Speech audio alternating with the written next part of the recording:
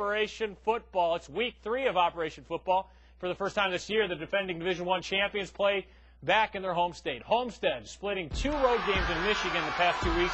They now open up conference play, hosting Grafton. This one all Homestead Highlanders. Big night for Brett Werner Powell, finding the end zone here. 28-yard score, and it's 14-0 Homestead. Then watch this one by Werner Powell. Look at the senior cut and goodbye. Homestead a big win tonight in the North Shore Conference opener. They crushed Grafton 35 nothing. Stay in the North Shore. Wisconsin Lutheran hosting Whitefish Bay. Tight game, 13-10. Blue Dukes extending their lead. Ryan Pandle scores to make it 21-10 Whitefish Bay. Red Knights making it a game, though. David enters the Sam Dumez touchdown, 21-17, but that's as close as they get. Whitefish Bay holds on to win. It's Lutheran's first loss of the season. Greater Metro, Brookfield East hosting Menomonee Falls at Brookfield Central. Falls finding pay dirt on the opening drive. Corey Kittredge punches it in from five yards out, six zip Indians. But East controls it from there.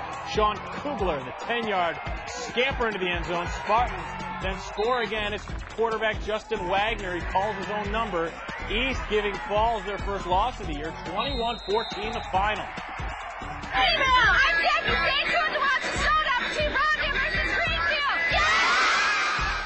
All right, thank you, Jackie. Brown Deer with a big win at home against Greenfield tonight. They bring in portable lights to help illuminate the field, and it works just fine for the home Falcons. John Chemez runs it in from seven yards out.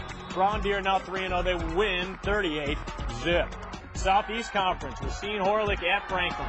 Miles Spiegel picks off the pass right there. And the Rebels doing it with defense, forcing four turnovers in the fourth quarter long. Travis Craig with the pick for six. And Horlick, ladies and gentlemen, Horlick is for real. They knock off Franklin 27-7. They are now 3 and 0. Big crowd tonight in Racine for the crosstown battle. Park and Case. Quarterback Andrew Fitz. Look at the junior run. Zip. Almost gets into the end zone. Knocked out at the one. And that sets up this. Demonche Pitt knocks it in from a yard out. Park now won two in a row. They beat Case 46 to 6. All right, Pat.